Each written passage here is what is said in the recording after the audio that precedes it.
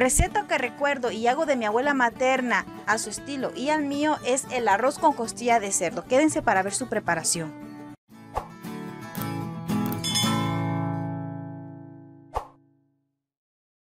Necesitaremos costilla o lomo de cerdo y condimentos, arroz blanco y caldo de pollo o de res o de vegetales o agua, ingredientes para el sofrito y otros vegetales. Lista de ingredientes debajo de este video.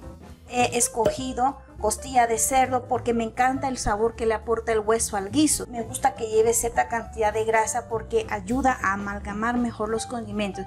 Aunque si ustedes gustan la pueden retirar o comprar una carne más magra. Cuando compren costilla de cerdo, procuren que el hueso en vez de estar a lo largo, mejor esté de forma transversal para facilitar el cortado. Eso no significa que no puedan emplear las costillas cuyo hueso va a lo largo si lo pueden hacer, solo que va a tomar más tiempo o más esfuerzo el cortarlo. Ya que me lavé las manos, vamos a agregar una cucharada bien copeteada de sal, una mezcla de especias que consisten en comino y pimienta negra tostada previamente y molida, curry. Me encanta el sabor que le da, un cuarto de cucharadita, un octavo de cucharadita de paprika porque me encanta el sabor ahumado que le da a las carnes para darle color un chorrito de achiote aceitado. Si no lo tienen entonces pueden emplear una cucharadita de achiote en polvo con las manos ya muy limpias.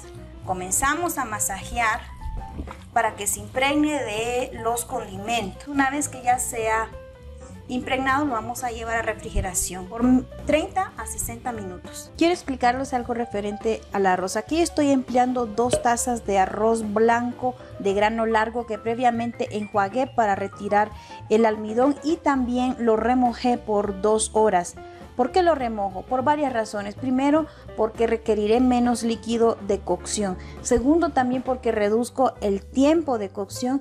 Y lo tercero, que ya es más personal, porque se me hace más digerible. ¿Qué ocurre? Cuando remojo el arroz no tengo inflamación. Es como que si el remojarlos ayudara a degradar antinutrientes u otras sustancias que pueden resultar nocivas. Pero bueno, ya esto es personal. Si ustedes no lo quieren remojar, háganlo como han acostumbrado a hacerlo. Sin embargo, examinen ustedes cómo funciona su cuerpo, si lo remojan o no lo remojan. Con la olla ya caliente, agregamos una a una y media cucharada de aceite. Dejamos que caliente. Añadimos los ingredientes del sofrito, esto es cebolla, ajo picado o rallado, tomate, chile pimiento que puede ser rojo, verde, amarillo, anaranjado, el que tengan disponible en casa. Y agrego todo el cilantro. Si no tienen cilantro lo pueden sustituir por perejil. Removemos y dejamos que se acitrone la cebolla o que el sofrito se ablande. Una vez que el tomate se ha ablandado y soltado su jugo y la cebolla se ha vuelto transparente, agregamos los trozos de costilla de cerdo. Movemos y dejamos que se selle por los diferentes lados. Sellar significa que se cree una capa, una costra en la carne también nos interesa que suelte un poquito de su propia grasa.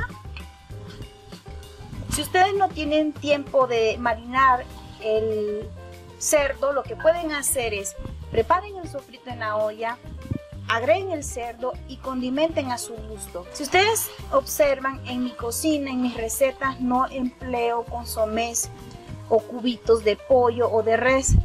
Me gusta más cocinar con ingredientes naturales estos consomés o estos cubitos contienen conservantes y otros ingredientes que son nocivos para la salud, como el glutamato monosódico, por ejemplo. Busquen información y ahí encontrarán todo lo que implica consumir a largo plazo el glutamato monosódico. Fíjense que después de cierto tiempo la carne ya cambió de color. Esto no significa que se ha cocinado, inclusive ya empieza a sudarse sin necesidad de haberse cubierto. Aquí tengo un litro de caldo de pollo que hice de forma casera. Si te interesa conocer su preparación, aquí arriba te dejo la tarjeta para que la cliques. Pueden emplear caldo vegetal, caldo de res o simplemente agua hervida. Tiene que estar el líquido caliente porque de lo contrario la carne se va a engarrotar o se va a contraer, entonces no va a tener esa sensación de suavidad.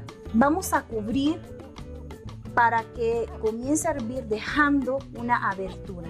A partir de que comience a hervir vamos a darle como unos 15 minutos, necesitamos que se reduzca el líquido para luego agregar el arroz. Y fíjense, ya transcurrieron 15 minutos después de que comenzó a hervir, ya se ha reducido un poco el agua. Antes de incorporar el arroz, quiero probar el gusto, si es necesario rectificamos con sal.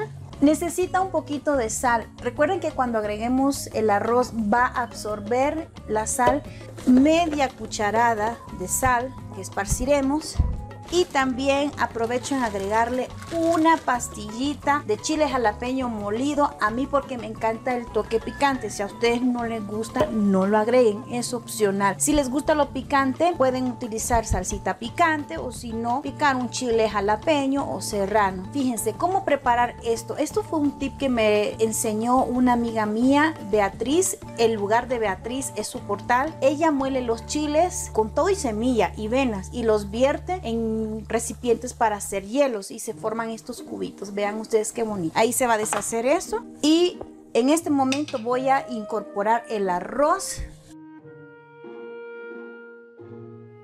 Vamos a distribuir. Esperaré unos 5 a 10 minutos que comience a hervir. En este caso no voy a tapar. Me interesa que a fuego alto comience a hervir. Fíjense, pasaron unos minutos y esto ya comenzó a hervir, así que bajamos la flama y voy a cubrir parcialmente la olla y dejo que se consuma el líquido. Bueno, antes de que se consuma totalmente, voy a agregar los vegetales, las habichuelas y el apio picado.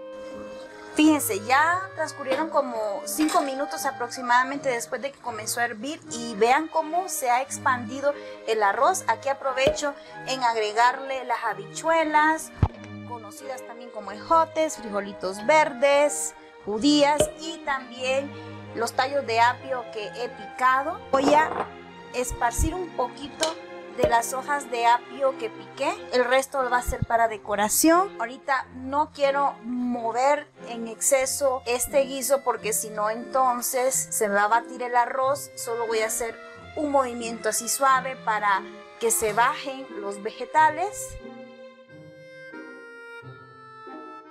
Cubro con la tapa Pueden ustedes agregar los vegetales al mismo tiempo que el arroz, pero les va a ocurrir que se van a cocinar en exceso. Por eso, mejor dejar que se cocine, que se consuma un poco del agua y minutos después incorporan los vegetales. Transcurrieron aproximadamente 10 a 15 minutos, pero más que tiempo siempre básense ustedes en observación. Entonces vamos a apagar la estufa.